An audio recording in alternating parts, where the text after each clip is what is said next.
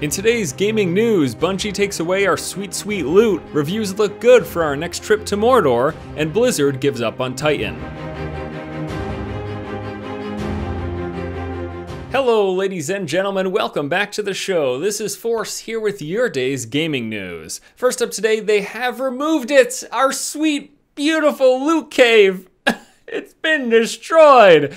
In a recent patch, Bungie decided to do away with the loot cave by increasing the respawn timers on mobs from that location from 8 to 40 seconds. We weren't playing the game they want us the way they want us to play it. Unfortunately, the way they want us to play it pretty much sucks for getting loot. Now, there is of course the exception of the guaranteed legendaries. Quite literally in two weeks, if you cap out Crucible and Vanguard marks, as well as get your reputation up higher enough, you can be completely decked out in legendary gear from head to toe. But when you're not getting those emblems, when you're done for the week, the next thing you're going to be doing as a player is trying to find other means of getting loot. And if it continues to be the case that doing strikes and doing PvP blow and are completely random in terms of the loot generation for what you're going to pick up and then what you end up getting from that damn Cryptarch, there's always going to be a version of the loot cave. In fact, already we have got the loot cave 2.0. So it is imperative that if Bungie wants wants to do away with this practice completely to make rewards better, make it more rewarding to do strikes and to do crucible matches. Because as it stands right now,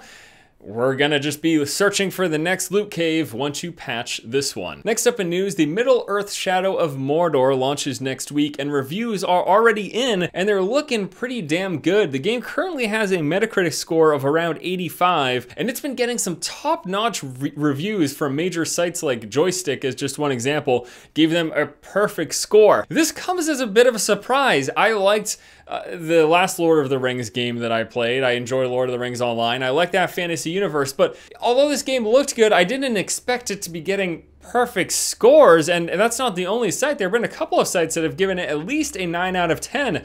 I'm, I'm blown away. I'm excited for next week. And now we always have to worry about, oh, what if they're being bought off and all those other, of course, reasonable concerns at times. Uh, whatever. I'm I'm gonna buy this game. I planned on buying it either way, and I'm just happy to hear that apparently it's reviewing pretty good. It's going to be a fun open world experience, and people are really enjoying that Nemesis system. So next week.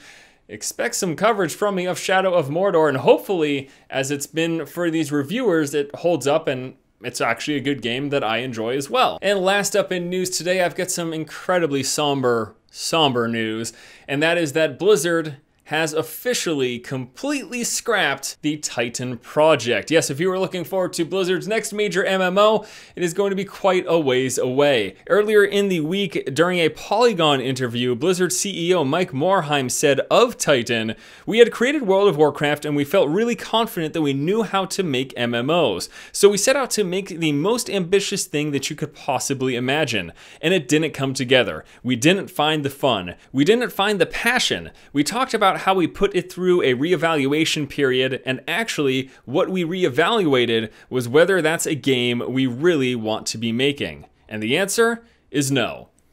That's it. Blizzard's next. Blizzard's Blizzard's fail. No, uh, that's it for Titan. That's it. We're done. It's so sad for me. I remember still actively playing WoW some five, six years ago, and first hearing the the little rumors and whispers about the possibility of their next MMO, the next big thing. It's gonna sort of bring back the wonder that we first had with the start of World of Warcraft, and they're hearing about the name Titan and wondering what it could possibly be, and all the speculation over the past few years it is all for naught. Titan is done. Later in the interview, they basically talk about the fact that, yeah, they made World of Warcraft, and yeah, it became the MMO, the biggest subscription MMO out there that still continues to rake in so much money every single month for them. But what they don't know is if they want to be the MMO company. If they want to continue to make MMOs, and once they're done this MMO, they'll make the next MMO Titan, and then they'll make World of Warcraft 2. They don't know if that's what they want to do. And you look at recent projects and successes with something like Hearthstone